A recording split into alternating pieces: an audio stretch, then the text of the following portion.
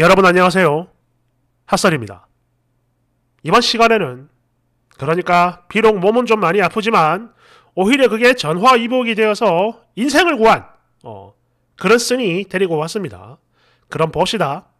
제목 허리 디스크가 터지면서 남친의 숨겨진 그 그지 같은 본성을 보게 됐어요. 그래, 비록 많이 아프지만 그래도 인생 터지기 직전에 알게 된 건 정말 신의 축복이다. 이씨. 원제, 작은 수술을 받고 남자친구와 헤어지려고 합니다. 참고로 이 사연은 코로나 전에 올라온 겁니다. 어, 그러니 오해 없으면 좋겠어요. 뭐 병원 문벽 이런 걸로. 음. 여러분 안녕하세요. 저는 20대 후반 여자고요. 제목에도 썼지만 제가 저번에 수술을 받게 됐는데 허리 디스크 아마 터진 것 같아요. 결국 이것 때문에 저는 전날 대학 졸업을 하자마자 4년 넘게 잘 다니고 있던 직장도 그냥 때려치웠습니다. 전공 계열에다가 이 바닥이 워낙에 좁아가지고 이건 뭐 그냥 가만히 있어도 옆집, 앞집, 뒷집까지 다 알아요. 하, 앞으로 무슨 일을 해야 할지 좀 막막합니다. 참고로 회사에서 일을 하다가 갑자기 쓰러진 거고요. 119를 불러서 실려갔고 바로 그 다음날 수술 받았어요.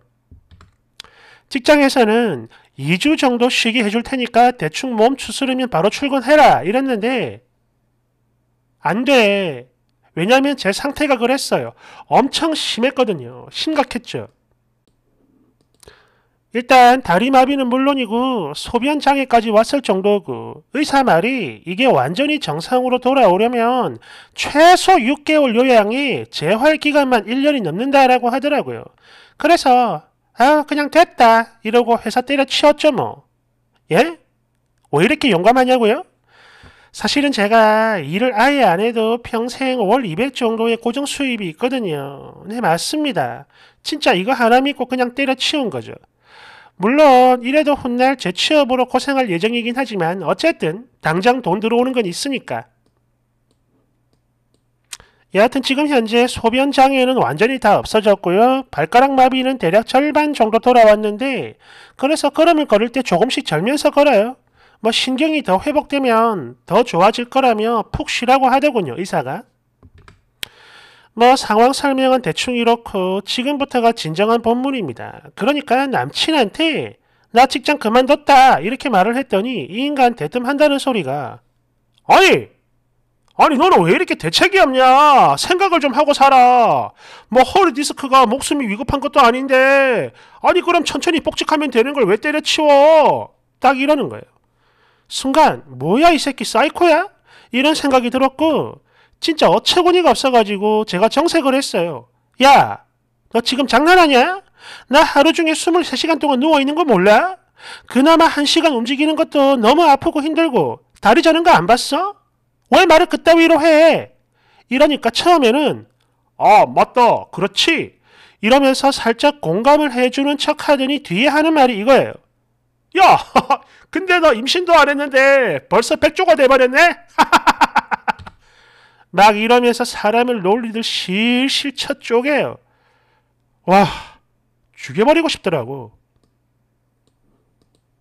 거기다 그 뒷말이 더 가관인 게, 야, 씨, 너랑 결혼하려면 장난 아니겠는데? 아니, 도대체 몇 년을 더 기다려줘야 되는 거야? 근데 너 그거 알지? 진짜 나 아니면 누가 너 기다려주겠냐? 아이고. 아니 근데 도대체 회복은 언제 되는 거야? 이러면서 독촉까지 했어요. 아니 얘가요 원래 이런 애가 절대 아니었는데 너무나 아무렇지 않게 이런 소리를 해대니까 막 혼란스럽더라고 처음에는. 그리고 이때 문득 드는 생각이 상대방이 아프고 힘들 때 그 사람의 상대방의 찐 본성이 나온다는 말이 있더군요. 옛날에 들은 말인데 이게 맞나 싶고 이게 맞구나 싶고 그리고 이런 느낌을 받으며 지난 날들을 떠올려 보니까 전에는 안 보였던 게 뚜렷하게 보이기 시작합니다. 처음 문병 왔을 때도 그냥 어? 많이 아파? 이러면서 사람 무한하게 멀뚱히 내려다보고만 있고 그리고는 제 옆자리에 있는 아줌마 할머니들이랑 수다 떨다가 갑자기 피곤하다며 벌러덩 누워가지고 낮잠 한숨 푹 때리고 가더군요.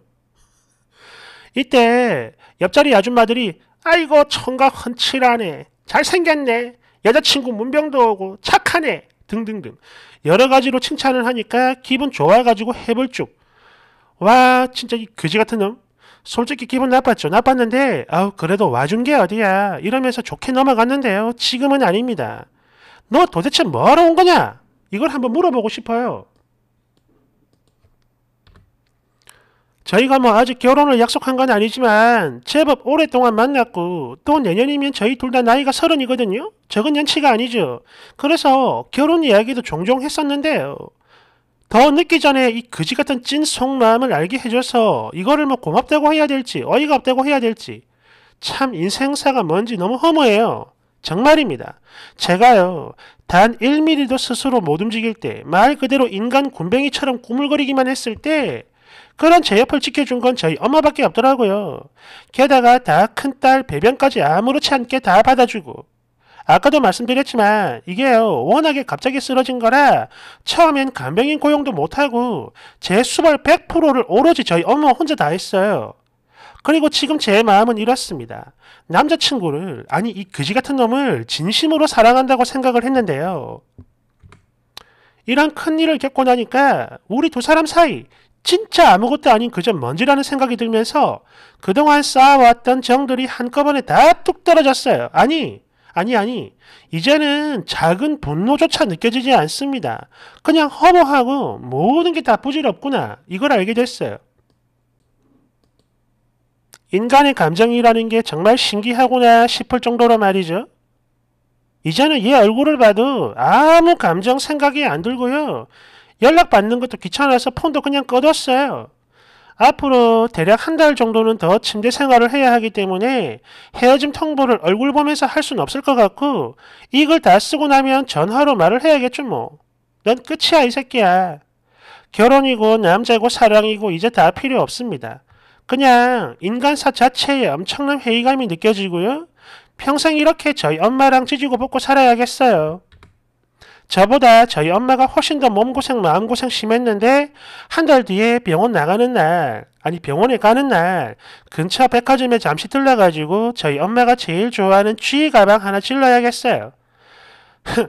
남자가 뭔 소용이야. 그냥 우리 엄마랑 살래요. 뭐 푸념 글이었고요. 읽어주셔서 감사합니다. 그럼 다들 늘 행복하세요. 안녕. 댓글 1번 저희 아빠가 허리 디스크로 평생 고생을 하셨기 때문에 쓰니의 그 고통 조금이나마 이해를 합니다. 그리고 그 미친놈과 헤어지기로 한 건 정말 좋은 선택이에요. 보니까 뭐 공감 능력 하나도 없고 말도 함부로 하는 게 그냥 사이코야. 빨리 쾌차하세요. 재활 치료도 파이팅입니다. 2번 헐 그러니까 허리 디스크가 터진 거죠. 와 진짜 아프겠다. 아니 대체 어쩌다 그런 거야. 뭐 많이 힘들겠지만 진짜 죽어라 재활 받아야 됩니다. 3번 몸이 아픈 환자한테 이런 말 하는 거 좀 그렇지만 그래도 이 경우는 허리 고장난 게 신의 한 수로 보여집니다. 저놈 숨겨진 본성도 모르고 결혼까지 했으면 어쩔 뻔했어요. 인생 망하는 거야. 아 물론 지금은 마음도 힘들고 몸도 많이 아프고 그러겠지만 전화 위복이라 믿고 재활 열심히 하길 바랍니다. 4번 진짜 웃기는 게 저런 놈들 지 감기라도 걸리면 지금 당장이라도 죽을 것처럼 엄살 오지게 해버려. 남 아픈 건 모르고. 5번 저도 예전에 디스크 때문에 거의 두 달 정도를 아무것도 못하고 가만히 누워만 있었거든요. 그리고 이거를 알고 연락한 건지 아니면 그냥 한 건지는 모르겠는데 제가 다치기 직전에 헤어진 남친한테 연락이 오더라고요. 진짜 저도 모르게 막 서러워가지고 엉엉 울었어요. 그리고 바로 이때부터 그랬습니다. 아픈 저를 데리고 여기저기 돌아다니고 간호도 해주고 진짜 엄청 잘해주는 거야. 이게 뭐지 싶을 정도로 우린 헤어졌는데 뭐 지금은 나았고요. 뭐 다시 만나다가 지금 정말 어쩔 수 없는 사정으로 인해서 우리는 또 헤어졌지만 한 가지 분명한 사실은 지금까지 제가 만났던 남자들 중에 아니지 남은 평생 앞으로 만날 모든 남자들 중에서도 최고라고 장담해요. 쓰니도 얼른 회복하고 그 쓰레기는 당장 버리세요. 6번 써니 남친 진짜 인간도 아니야.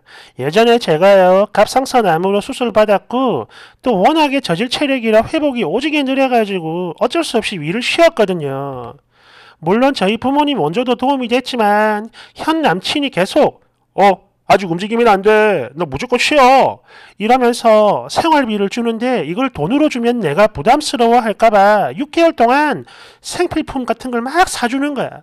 건강식품도 사주고 또 가끔 밖으로 데리고 나가가지고 옷도 사주고 그랬는데 제가 너무 미안해 하니까 에휴 나중에 갚으면 돼. 절대 부담 갖지 마.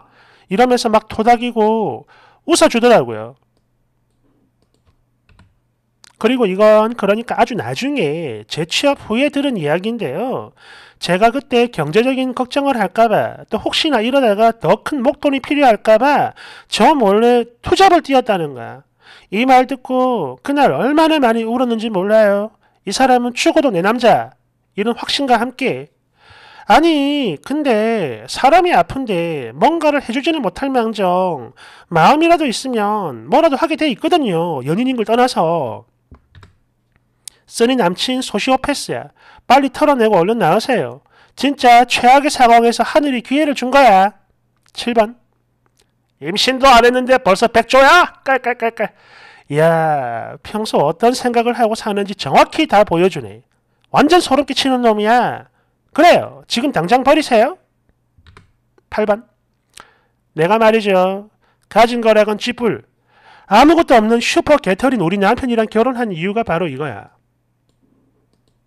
이 남자랑 연애하고 있을 때 그러니까 결혼 직전에 일이 너무 바빠가지고 소변까지 참으며 일을 하다가 요도염이 걸렸고 이게 또 방광염까지 올라갔는데 상태가 좀 심각했어요.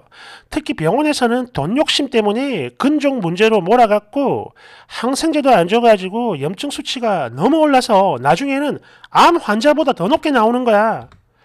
그러다 보니까 오만 장기에 염증이 옮아버렸고 결국엔 입에서 피냄새가 올라올 정도로 상태가 나빠졌어요. 이때 의사가 당장 수술 안 하면 자궁 적출이 어쩌고 저쩌고 이러면서 대놓고 협박질을 해댔는데 우리 부모님 남편한테 막 울면서 결혼 못 시킨다 미안하다 애 못 낳는다고 이런 거야. 그러자 저희 남편이 아닙니다. 무조건 결혼해야죠. 우리는 죽어도 같이 죽을 겁니다. 이러면서 끝까지 의리를 지켰고 나도 같이 개털돼야지 이러면서 아니 울면서 의리를 지킨 거죠. 아 물론 지금이야 개털 많아져가지고 잘 먹고 잘 살고 있어요. 9번 야 지금까지 아무것도 아닌 척 연기를 했다는 게 더 소름이다. 완전 악마네 악마. 근데 님 아무리 그래도 이혼 도장 아닌 게 어디예요. 이거 진짜 행운인 거야. 그렇죠? 알고 있죠?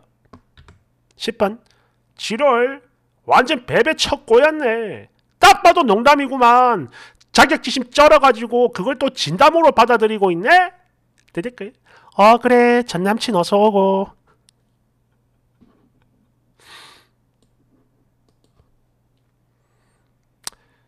사람 힘들 때 버리는 거 아니죠. 어, 음. 그리고 반대로 힘들 때 곁에 있어주면 이제 물론 뭐 사이코를 제외하고 어, 보통 사람들은 음, 그게 평생 갑니다. 어, 아무튼 그래요. 여러분도 어, 우리 평생 가야 되니까 좋아요 한번 눌러주세요. 감사합니다.